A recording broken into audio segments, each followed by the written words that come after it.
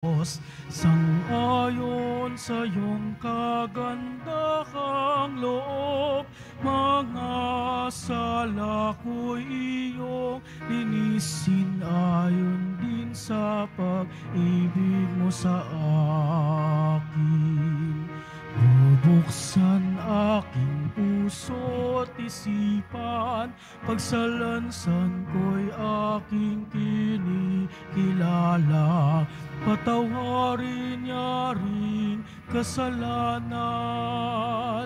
Ako'y kaawaan o mahal kong Diyos, sangayon sa iyong kagandahang loob, mga sala ko'y iyong inisin ayon din sa pag-ibig mo sa akin.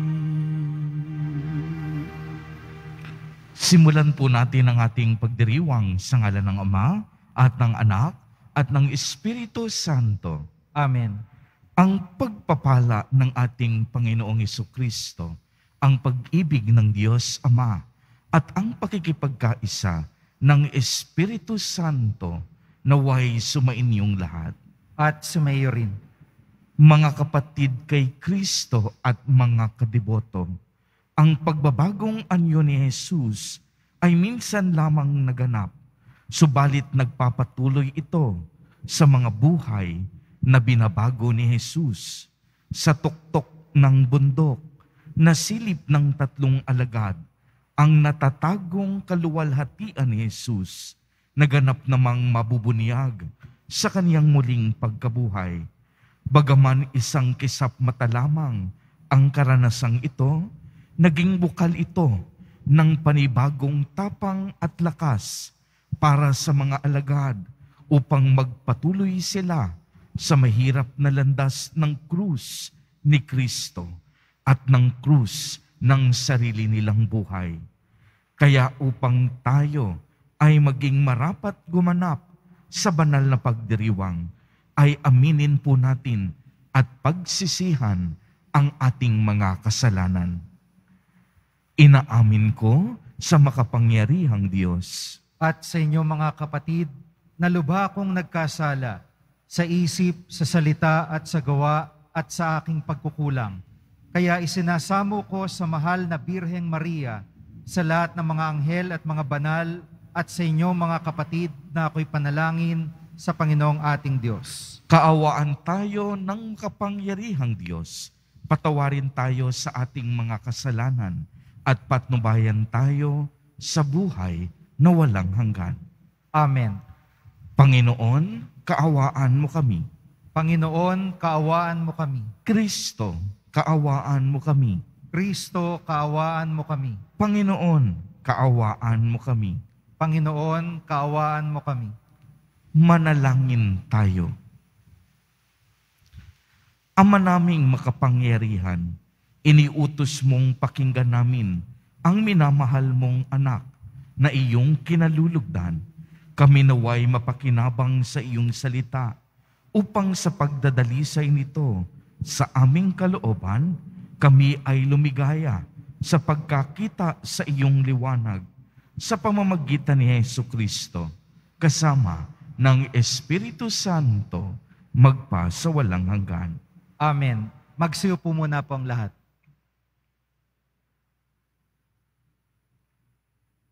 Pagbasa mula sa aklat ng Henesis. Noong mga araw na iyon, sinabi ng Panginoon kay Abram, Lisanin mo ang iyong bayan, ang tahanan ng iyong ama at mga kamag-anak, at pumunta ka sa bayang itinuturo ko sa iyo. Pararamihin ko ang iyong mga anak at apo at gagawin kong isang malaking bansa. Pagpapalain kita at mababantog ang iyong pangalan at magiging pagpapala sa marami. Ang sa iyo'y magpapala ay aking pagpapalain, ngunit kapag sinumpa ka, sila'y aking susumpain. Ang lahat ng mga bansa, pihong ako'y hihimukin, na tulad mong pinagpala, sila ay pagpapalain din. Sumunod nga si Abram sa utos ng Panginoon. Ang salita ng Diyos. Salamat sa Diyos. Poon pag-asa ka namin, pag-ibig mo'y aming hiling. Poon pag-asa ka namin, pag-ibig mo'y aming hiling. Panginooy tapat sa kanyang salita at maaasahan ng kanyang ginawa. Minamahal niya ang gawang matapat, ang pag-ibig niya sa mundo'y laganap. Poon pag-asa ka namin, pag-ibig mo'y aming hiling. Ang may takot sa Diyos at nagtitiwala sa kanyang pag-ibig ay kinakalinga. Hindi babayaang sila ay mamatay, kahit magtagutom, sila'y binubuhay. Poon pag-asa ka namin, pag-ibig mo'y aming hiling. Ang ating pag-asa'y nasa Panginoon. Siya ang sanggalang natin at katulong. Ipagkaloob mo na aming makamit, upuon ng iyong wagas na pag-ibig. Yamang ang pag-asay sa iyo nasasalig. Poon pag-asa ka namin, pag-ibig mo'y aming hiling.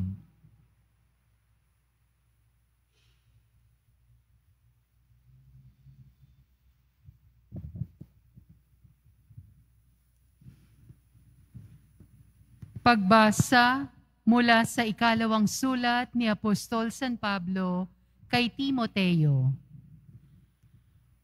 Pinakamamahal kong kapatid, makihati ka sa kahirapan dahil sa mabuting balita. Sa tulong ng Diyos na nagligtas at tumawag sa atin upang tayo'y maging kanyang bayan. Ito'y ginawa niya sa pamamagitan ni Kristo Jesus.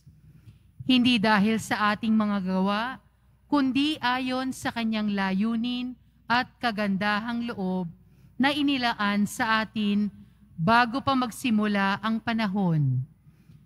Ngunit mahayag lamang na ito'y dumating si Kristo Jesus na ating tagapagligtas. Nilupig niya ang kamatayan at inihayag ang buhay na walang hanggan sa pamamagitan ng mabuting balita. Ang salita ng Diyos. Salamat sa Diyos. Magsitayo po tayong lahat.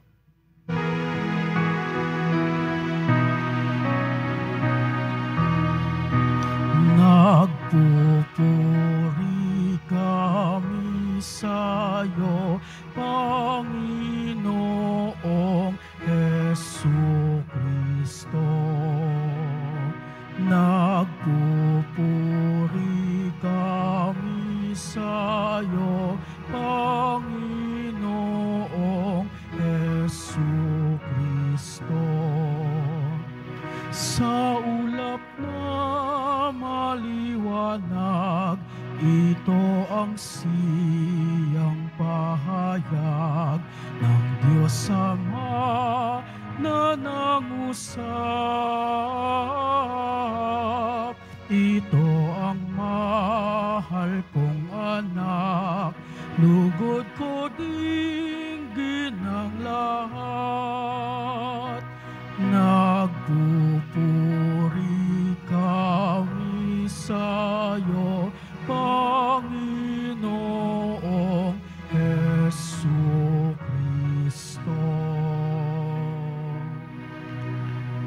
Sumainyo ang Panginoon, At sumayo rin. ang mabuting balita ng Panginoon ayon kay San Mateo.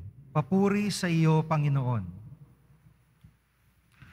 Noong panahong iyon, isinama ni Jesus si Pedro at ang magkapatid na Santiago at Juan at sila'y umakyat sa isang mataas na bundok. Samantalang sila'y naroon, nakita nilang nagbabagong anyo si Jesus. Nagliwanag na parang araw ang kaniyang mukha at pumuting parang busilak ang kaniyang damit nakita na lamang at sukat ng tatlong alagad, sina Moises at Elias, na nakikipag-usap kay Jesus. Kaya't sinabi ni Pedro kay Jesus, Panginoon, mabuti pa'y dumito na tayo. Kung ibig ninyo, gagawa ako ng tatlong kubol. Isa sa inyo, isa kay Moises, at isa kay Elias. Nagsalita pa siya ng lililiman sila ng isang maningning na ulap at mula rooy may tinig na nagsabi, Ito ang minamahal kong anak na lubos kong kinalulugdan. Pakinggan ninyo siya. Ang mga alagad ay natakot at nang gayon na lamang nang marinig nila ang tinig at sila'y napasubasob. Ngunit nilapitan sila ni Jesus at hinipo. Tumindig kayo, sabi niya, huwag kayong matakot. At nang tumingin sila, ay wala silang nakita, kundi si Jesus. At habang bumababa sila sa bundok, iniutos ni Jesus sa kanila, huwag ninyong sasabihin kanino man ang pangitain hanggat hindi muling nabubuhay ang anak ng tao. Ang mabuting balita ng Panginoon. Pinupuri ka namin, Panginoong Heso Kristo. Magsiupo muna po ang lahat. Magandang umaga po sa inyong lahat, mga kapatid kay Kristo. Sa lahat po ng ating mga taga-subaybay, sa iba't ibang online platforms, at sa lahat ng ating mga kadiboto sa iba't ibang panig ng Pilipinas, at maging sa buong mundo kung saan tayo ay naaabot ngayon ng ating live streaming. Mapayapang umaga din po sa inyong lahat. Purihin at dakilain natin ang ating Panginoon, ang mahal na poong Jesus Nazareno. Palakpakan natin ang ating Diyos na buhay. Mga kapatid kay Kristo at mga kadiboto, ang ebanghelyo po natin sa araw na ito ay tungkol sa maluwalhating salaysay ng pagbabagong anyo ng ating Nuestro Padre, Jesus Nazareno. Ano po ang kahalagahan nito sa ating pang-araw-araw na buhay? Una, mahalaga pong mapalalim natin ang salitang pagbabagong anyo o transfiguration in English. Ang salitang transfiguration po ay nanggaling sa wikang Latino, transfigurare, na ang ibig sabihin, lumampas pa sa orihinal na anyo. At ito mismo ang naganap sa ating ebanghelyo. Ipinakita ni Jesus ang kanyang tunay na anyo. Mapapansin po natin tuwing ikalawang linggo ng kwaresma, ang ebanghelyo ay palaging tungkol sa pagbabagong anyo ni Jesus sa bundok ng Tabor. Maliwanag pong narinig natin kung paano nagliwanag na kasing busilak ang damit ng ating Nuestro Pare. Busilak na puti, nagningning ang kaniyang mukha na parang sikat ng araw.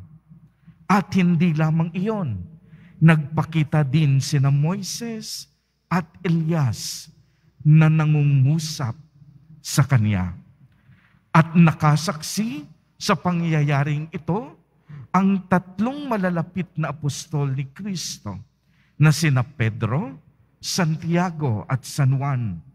Pagkatapos noon, nililiman naman ang ating Panginoon ng isang alaap, alapaap at may tinig na nagsabi, Ito ang minamahal kong anak.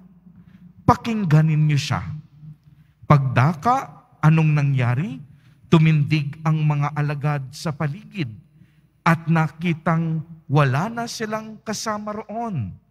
Kung hindi, si Jesus. Ano po ang ibig sabihin nito? Unang-una, ang pagbabagong anyo ng ating Nuestro Padre, Jesus Nazareno, ay pagpapahayag na siya ay tunay at totoong Diyos.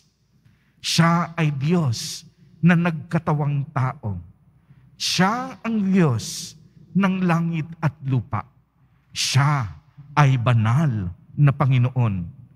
Sa pagbabagong anyo ng ating Panginoon, si Kristo nagpakababa. Ito ang dahilan kung bakit siya ay nananalangin sa Ama. Sapagkat ang kanyang paglilingkod sa lupa ay nakasalalay sa kanyang kaugnayan sa Diyos Ama at sa Diyos Espiritu Santo. Sa pananalangin, napatunayan ang kaniyang pakikiisa sa ating Diyos Ama. Bilang anak ng tao, naparito siya upang tuparin ang kalooban ng Diyos Ama. Kaya naman, ang papel ni na Elias at Moises sa pangyayaring ito ay upang ipahayag na ang ating Nuestro Padre, Jesus Nazareno, ay ang kaganapan ng kasulatan at ng mga propeta. Dahil dito, si Jesus nakahandang magtungo sa Jerusalem upang pagdaanan ang kanyang paparating na pagpapakasakit at pagkamatay sa krus. At ang kamatayan ay napagtagumpayan niya sa pamamagitan ng kanya mismong sariling kamatayan at ng kanyang muling pagkabuhay. At makikita na ang katuparang ito ay mangyayari sa magaganap kay Jesus na ating ipagdiriwang ngayong Semana Santa. Unang-una, ang kaniyang pagpapakasakit. Ikalawa, ang kaniyang pagkamatay. At ang ikatlo, ang kaniyang muling pagkabuhay na itinuturing nating bagong Exodus. Mga kapatid kay Kristo at mga kadeboto, mapapansin din po natin na tunay ngang natupad ang pangako ng Diyos Ama, ang pangako ng kaligtasan sa pamamagitan ng pagiging masunurin ni Kristo sa dakilang kalooban ng Ama. At ipinapakita at ipinapaalala po sa atin ang kahalagahan ng pagiging masunurin sa kalooban ng ating Diyos. Lalong-lalo na sa patuloy na pakikinig sa ating Nuestro Padre, Jesus Nazareno. At ang maluwalhating pangyayaring ito ay isa namang magandang paalala na ayon kay San Pablo sa ating ikalawang pagbasa, tayong lahat, tayo ay nakatakda para sa buhay na walang hanggan sa kalangitan, kahit na tayong lahat ay papanaw balang araw sa mundong ito. Kaya nga ang hamon sa atin ay maging matapat sa plano at kalooban ng Diyos. Katulad ni Abraham sa ating unang pagbasa, upang sa ating pagiging matapat, tayo ay mas lalong biyayayaan ng Diyos at ang mga susunod na henerasyon ay tumulad din sa ating matibay na pananampalataya. Kaya nga mga kapatid kay Kristo at mga kadeboto, dahil nga sa pagbabagong anyo ng Panginoon, hinahamon din tayo ng ating ebanghelyo na magkaroon ng tunay na pagbabago sa ating mga buhay bilang mga Kristiyano. Ito ang panawagan ng Kwaresma. Pagbabago. Pagbabago ng ating kaisipan. Pagbabago ng ating puso. Pagbabago tungo sa kabutihan at pagbabago patungo sa kabanalan. sumunod tayong lagi sa kalooban ng Diyos at makinig sa Kanyang salita. At ang Kanyang salita ay walang iba, kundi ang ating Nuestro Padre, Jesus Nazareno. Siya ang salitang nagkatawang tao. Makinig tayo sa tinig ni Jesus sa pamamagitan ng pagbabasa ng mabuting balita at pagtanggap sa Kanya sa banal na Eukaristiya. Isabuhay natin ang Kanyang mga aral sapagkat ito ang magbibigay ng direksyon sa ating mga buhay.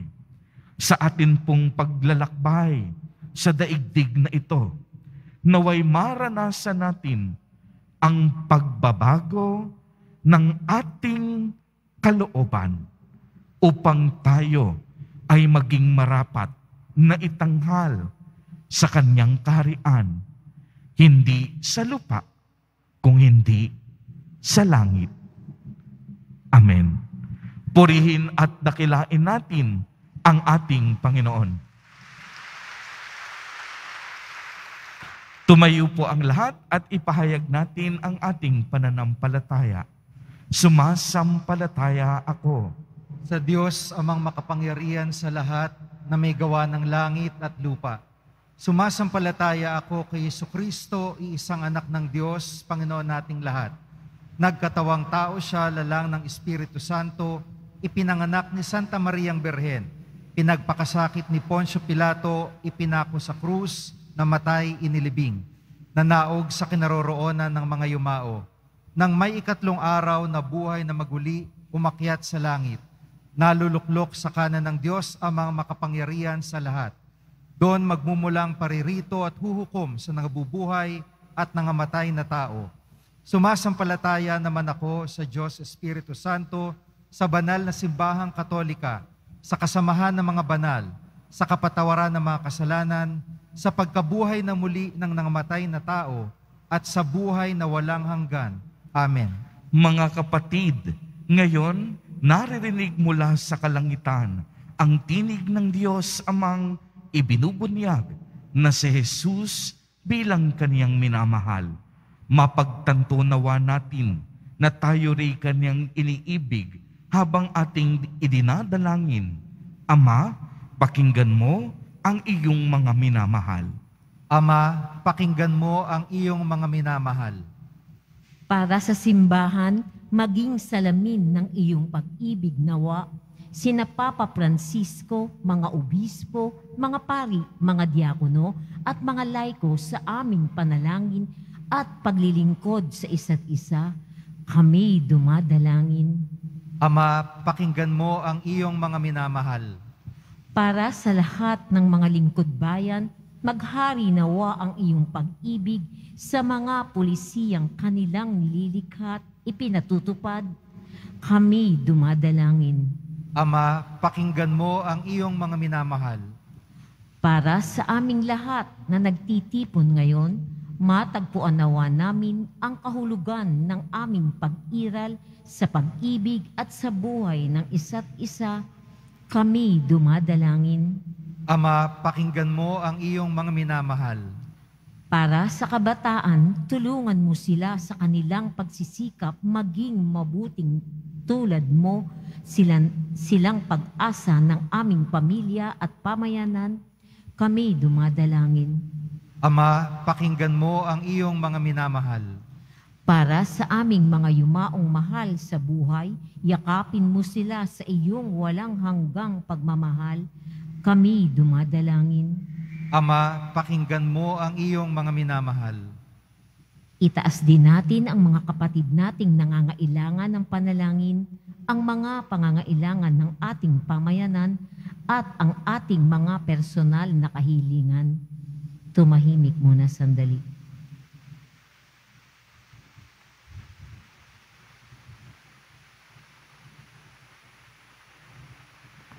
Kami dumadalangin. Ama, pakinggan mo ang iyong mga minamahal. Pakinggan mo ang iyong mga minamahal, Ama.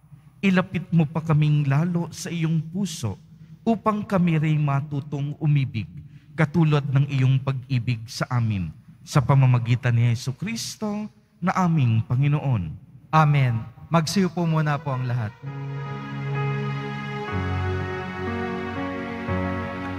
Sa pagsunod sa utos mo, nalulugod akong labis, di masukat ang galak ko,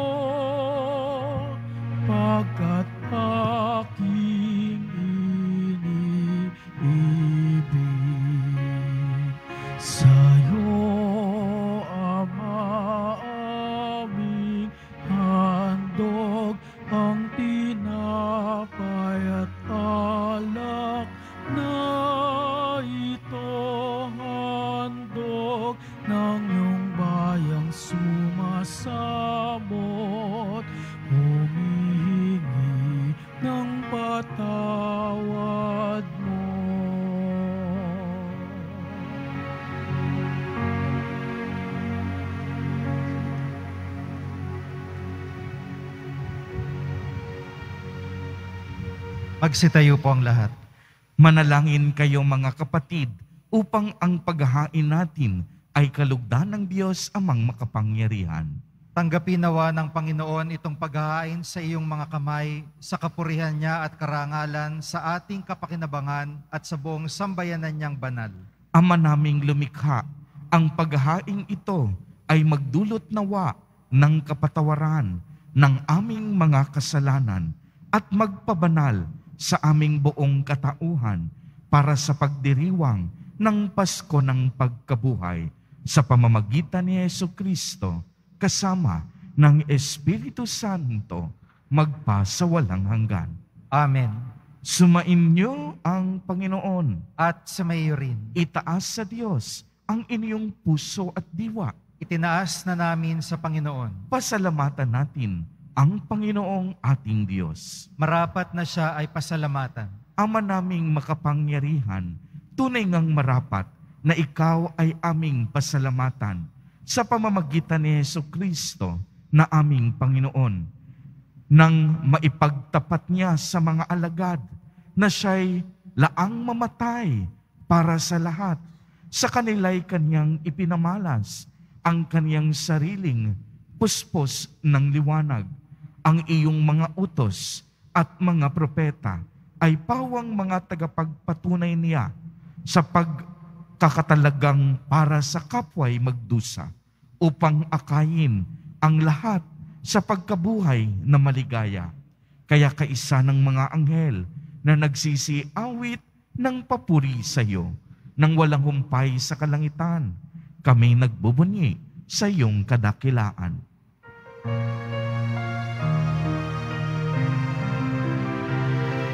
Santo, Santo, Santo, Panginoong Diyos ng mga hukbo, napupuno ang langit at lupa ng kadakilaan mo. Osana, Osana, Osana sa kaitaasan. Osana, Osana, Osana sa kaitaasan.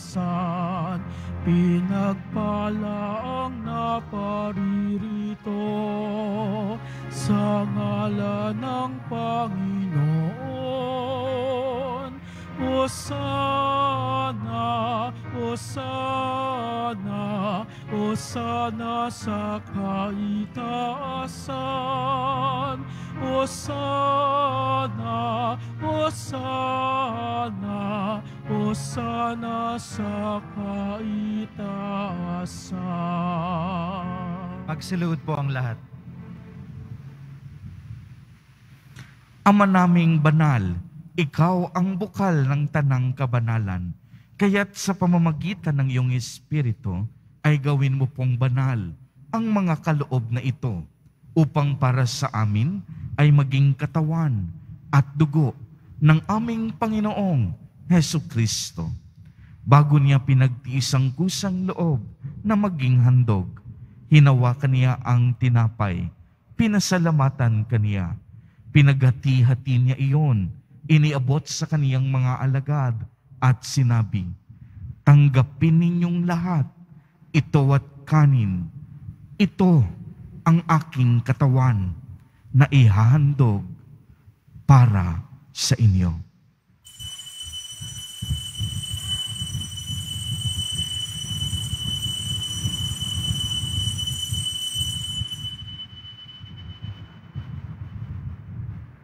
Gayon din naman noong matapos ang hapunan, hinawakan niya ang kalis. Muli kaniyang pinasalamatan. Iniabot niya ang kalis sa kaniyang mga alagad at sinabi, Tanggapin ninyong lahat ito at inumin. Ito ang kalis ng aking dugo, ng bago at walang hanggang tipan. Ang aking dugo na ibubuhos para sa inyo at para sa lahat sa ikapagpapatawad ng mga kasalanan. Gawin ninyo ito sa pag-alaala sa akin.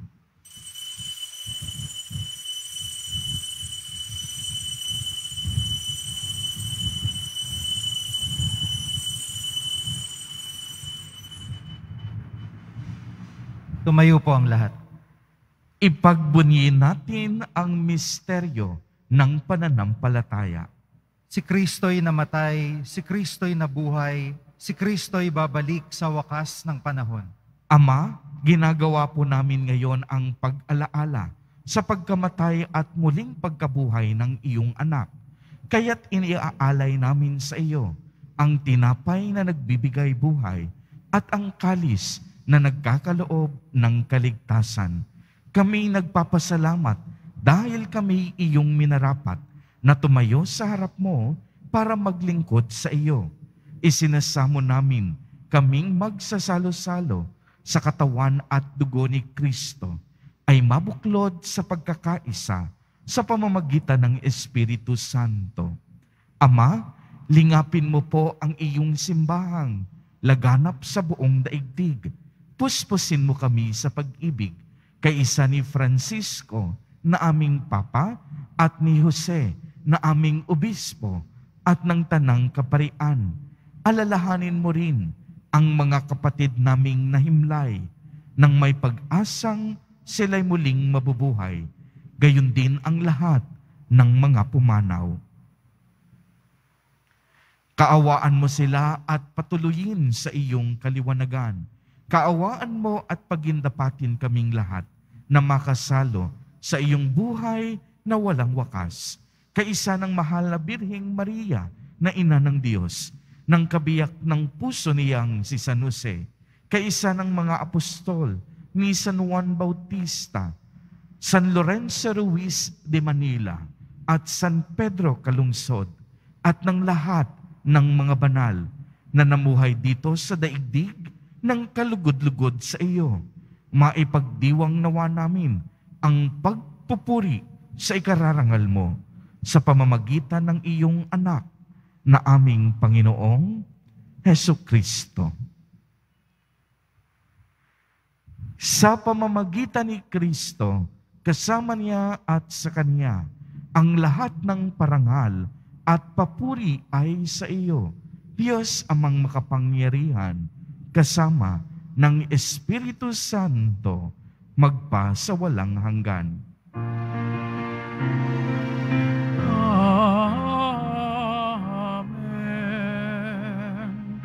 Amen.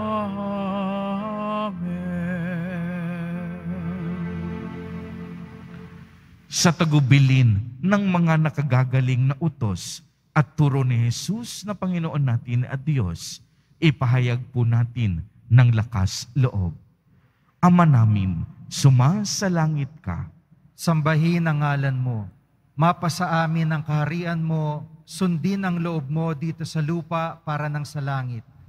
Bigyan mo kami ngayon ng aming kakanin sa araw-araw at patawarin mo kami sa aming mga sala para ng pagpapatawad namin sa mga nagkakasala sa amin. At huwag mo kaming ipahintulot sa tukso at iadya mo kami sa lahat ng masama.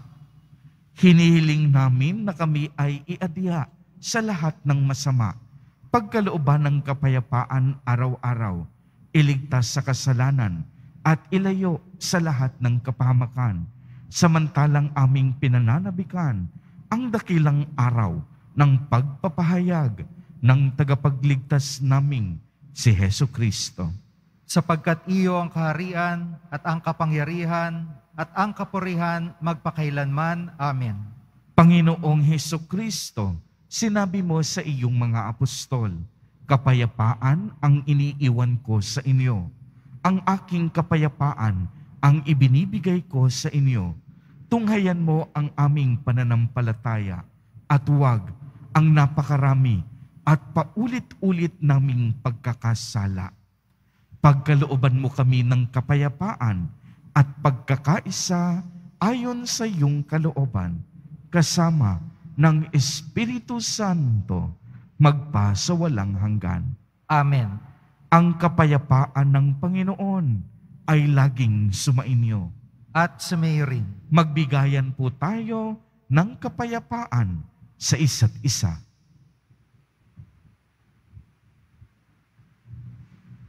Kordero ng Diyos na nag-aalis ng mga kasalanan ng sanlibutan, maawa ka sa amin. Kordero ng Diyos na nag-aalis ng mga kasalanan ng sanlibutan, maawa ka sa amin.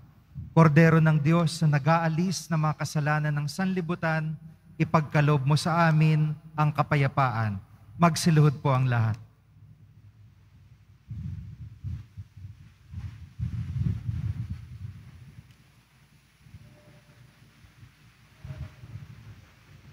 Mga kapatid kay Kristo at mga kadiboto, narito ang ating Nuestro Padre, Jesus Nazareno.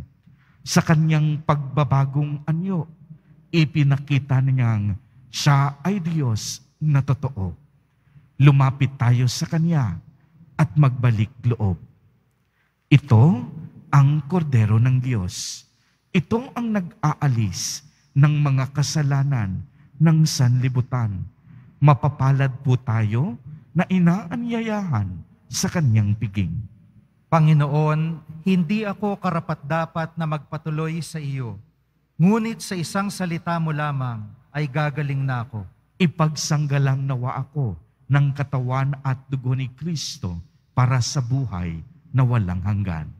Amen.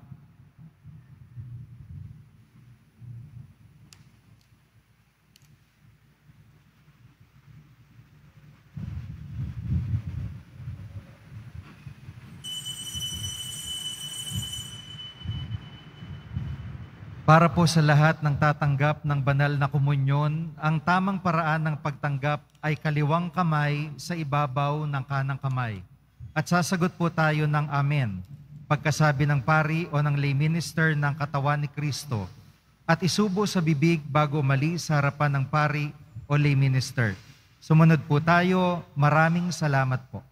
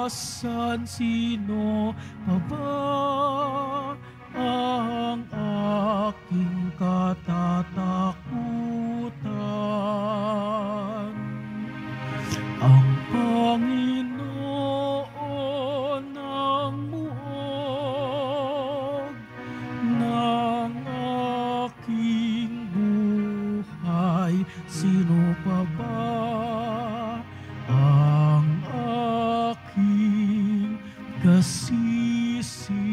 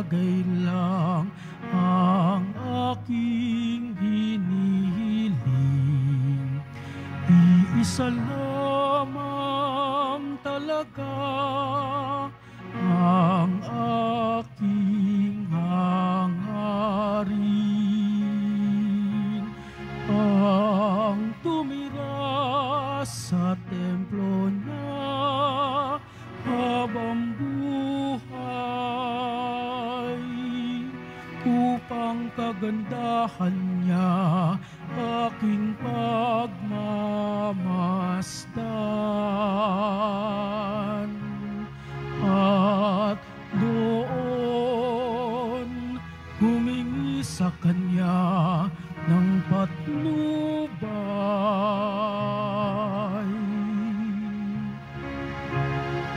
Sa pag-inom ng sino man sa tubig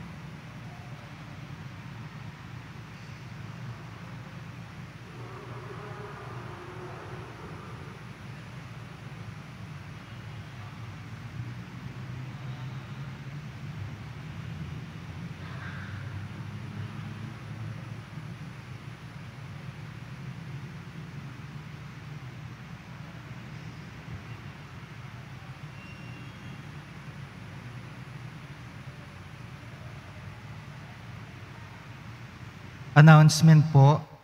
Ang lahat po ay inaanyayahan sa ikalawang Lenten Recollection sa darating na March 7, Martes, sa ganap na ikapito ng gabi. Ang ating pong tagapagsalita ay si Father Robert Arellano, LRMS, ang atin pong parochial vicar. Maraming salamat po. Magsitayo po tayong lahat.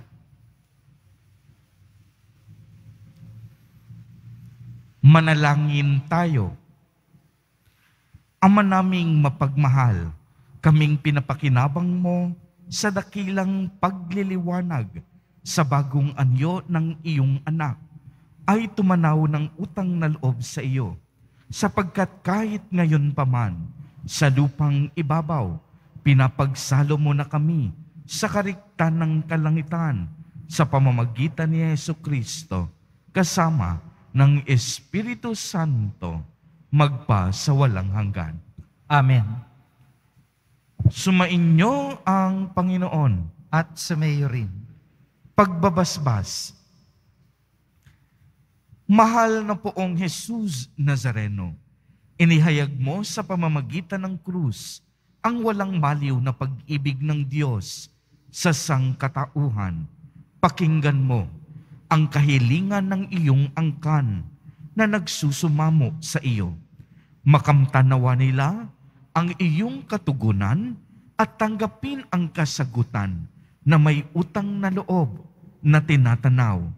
Basbasan din po ninyo ang mga daladala nilang mga imahen at dasalan. Sa pamamagitan ng bendisyon na ito, naway maalala nila ang mga pangako nila noon sa binyag na ikaw ang kanilang iibigin at paglilingkuran bilang Panginoon magpa sa walang hanggan. Amen.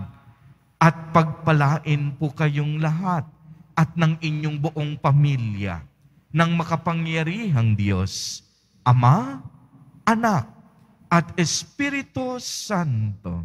Amen. Humayo kayong taglay ang kapayapaan ng poong Jesus Nazareno. Salamat sa Diyos.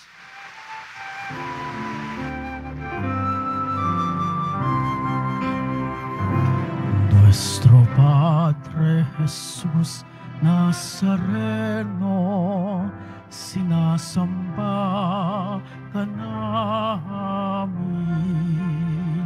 pinipintuho ka namin, aral mo ang aming buhay at kaligtasan, Nuestro Padre Jesus Nazareno, iligtas mo kami sa kasalanan. Ang krus mong kinamatayan ay sagisag ng aming kaligtasan. Nuestro Padre Jesus Nazareno, dinarangal ka namin. Nuestro Padre Jesus Nazareno, nilulualhati ka namin. Nuestro Padre Jesus Nazareno, dinarangal ka namin. Nuestro Padre Jesus Nazareno, nilulualhati ka namin.